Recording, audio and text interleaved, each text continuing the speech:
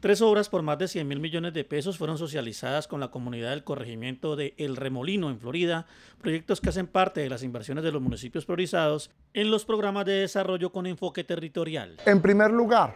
tenemos el proyecto para poder hacer un mejoramiento de la vía con ampliación con bermas, 14,2 kilómetros entre Crucero Candelaria, Crucero La Industria y Florida, que a su vez tiene otros dos proyectos importantes en la región, como es la vía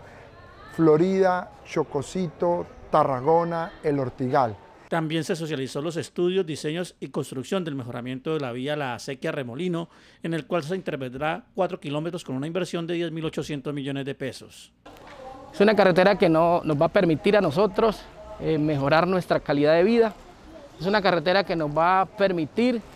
inversionistas vengan aquí a nuestro corregimiento e inviertan, porque este es un remanso de paz. Estas obras hacen parte de la ruta invencible por el Valle del Cauca que van a permitirle a la comunidad de Florida y los corregimientos del Remolino, Chocosito y Tarragona mejorar sus condiciones de vida, conectividad y generación de empleo.